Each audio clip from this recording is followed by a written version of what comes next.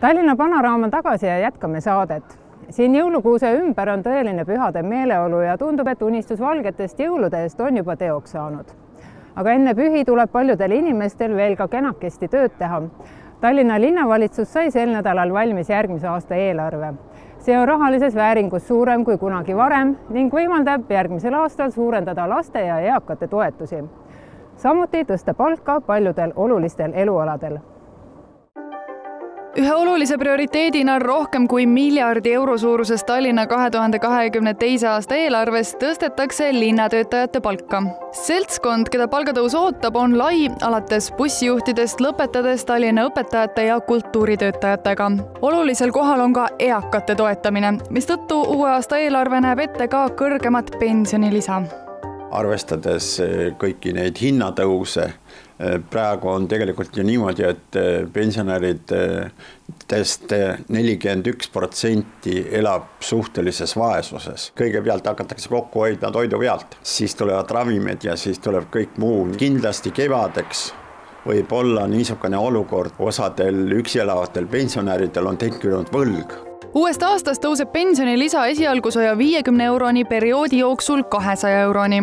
praegune Tallinna linnavalitsuse poliitika on väga õige ja, ja annab siin eeskuju, ütleme, annab siin Riigikogule eeskuju lisaks juba olemasolevale Ranitsa toetusele hakkavad uuest aastast kõik alates teise klassi minevad kooliõpilased saama iga õppeaasta alguse puhul viiskümmend eurot koolitoetust. uurisime lapsevanematelt, kuivõrd neile selline summa abiks on ja millele nemad plaanivad seda kulutada iga aasta tuleb osta ju uuesti erinevaid kooliasju. vaesematel peredel on sellest loomulikult kasu, sellepärast et eh, igal aastal tuleb osta uusi kooliasju ja need äh, ei ole neil odavad. ühe huviringi saab selle viiekümne euroga väga edukalt ära kaetud ja võib-olla tuleb mõni huviring isegi järgmine aasta juurde ja siis see võimaldab lihtsalt lapsel rohkem oma vaba aega sisustada ja lapsevanemal on ka natukene lihtsam eelarve koostamise juures rääkisid kaasa ka sotsiaaldemokraadid. abilinnapea Madle Lippuse sõnul seisid nemad peamiselt selle eest, et eelarves oleks piisavalt ruumi linnaruumi parandamiseks ja rattastrateegia edendamiseks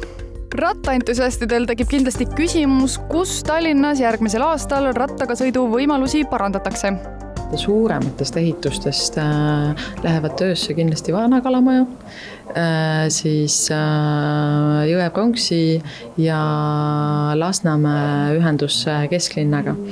aga see, mis puudutab siis kesklinna põhivõrku ja konkreetselt töid siin, et selle me nii-öelda paneme lähikuudel täpsemalt paika täiesti uued mõtted, mis sotsiaaldemokraadid eelarvesse tõid, olid näiteks kooli ümbruste turvalisemaks muutmine ja päikesepaneelide paigaldamine kultuuri- ja haridusasutuste katustele.